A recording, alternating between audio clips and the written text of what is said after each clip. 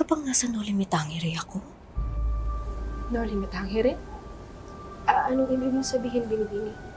Yan ay sa wikang Latin, senyorita, na ang ibig sabihin ay huwag mo akong salingin.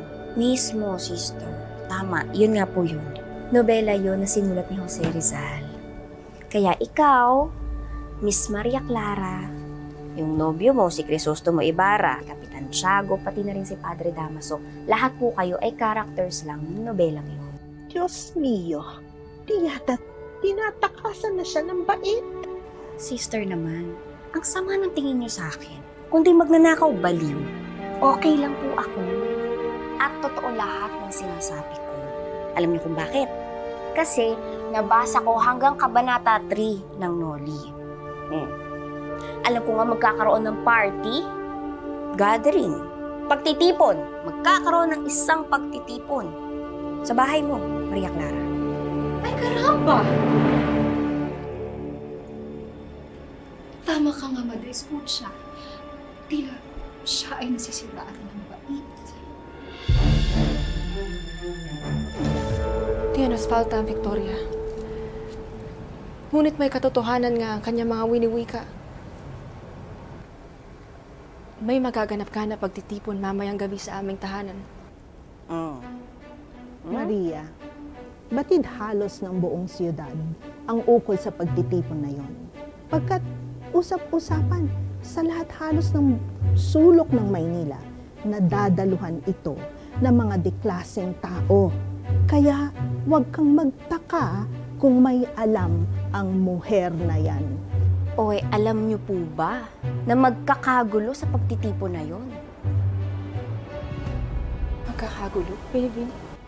Mhm. Chichika ko sa'yo.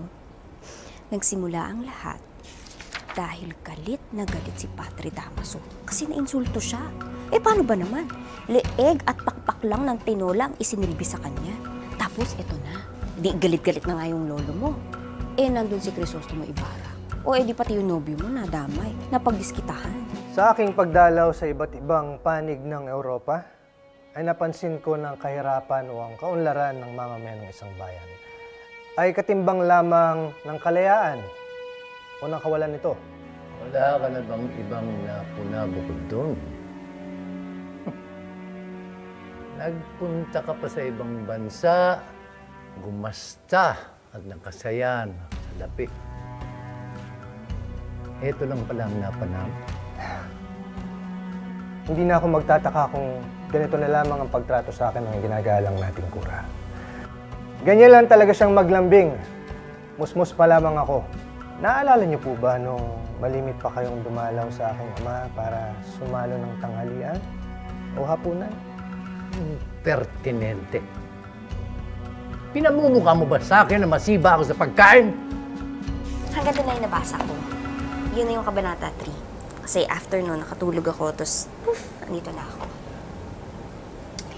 Pero, kung totoong nasa Noli nga ako, Miss Maria Clara, naniwala kayo sa akin, magkakatotoo yung sinabi ko. At kung hindi po ako nagkakamali, dito na rin magsisimula ang lahat ng problema niyo sa buhay ng nobyo mong si Crisostomo Ibarra. Matuloy